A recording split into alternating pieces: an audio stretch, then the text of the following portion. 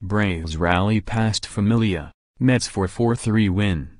Atlanta, App, Johan Camargo tripled home the tying run, then scored on Ender Inciarte's bunt single as the Atlanta Braves scored twice in the ninth inning off Mets closer Jeurys Familia to beat New York 4-3 Saturday night. A crowd of 41,396 that was the largest of the season at SunTrust Stadium saw starters Jacob deGrom and Julio Teheran each pitch seven scoreless innings. After they left, the bullpens wilted.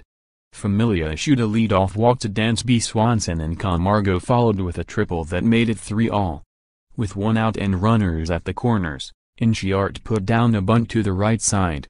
First baseman Adrian Gonzalez made a quick throw home, but Camargo was already across the plate with a head-first dive. Familia, 1-1, entered the game unscored upon and tied for the major league lead with eight saves. Each starting pitcher allowed just four hits. DeGrom struck out 10 for the Mets and Teheran fanned 6. Atlanta lefty Sam Freeman replaced Teheran to start the eighth and Wilmer Flores, pinch hitting for DeGrom, drew a walk. Jose Reyes followed with his third hit, a perfect bunt. Reyes had his first three hits of the season to break an 0 for 20 streak. Michael Conforto followed with a grounder to third base and Camargo threw to second base, where Ozzie Albies tried to turn a double play. But Albies dropped the ball and, a video replay reversed the call and ruled all runners safe.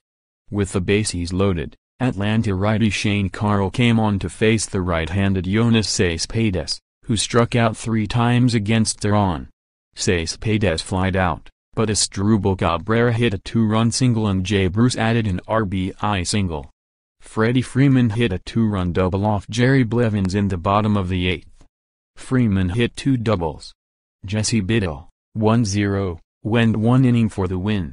Trainers Room Mets, LHP Jason Vargas, who signed a two-year contract with New York in February after playing most recently for the Royals, is expected to make a final rehabilitation start Monday for AAA Las Vegas and then join the Mets starting rotation.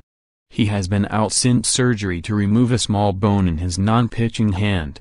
Braves, see Tyler Flowers, who has been sidelined since straining an oblique on opening day, is working with AAA Gwinnett. If all goes well, he may rejoin Atlanta as soon as next weekend. Up next Mets, right-hander Zack Wheeler, 1-1, 2.77 era, will make his fifth career start in Atlanta, where he is 2-1 with a 1.93 although this will be his first start in SunTrust Park. It's been a while since he pitched in Atlanta, but he threw six scoreless innings for a win on September 19, 2014 in Old Turner Field.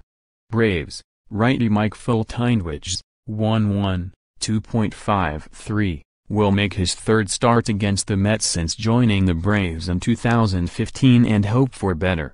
In his first two starts against the New York, he was hammered while surrendering 17 hits and 5 home runs in just 8.0 innings. Including the relief appearance that he made for the Astros in 2014, He's 0-1 with a 10.45 ERA and 10.1 innings versus the Mets. Roster moves The Braves selected the contract of AAA RHP Miguel Sokolovich from Gwinnett, and sent righty Josh Ravin to Gwinnett one day after he took the loss when he walked Mets reliever Robert Gsellman to start the 12th inning. He eventually scored the go-ahead run in what became a 5-3 defeat.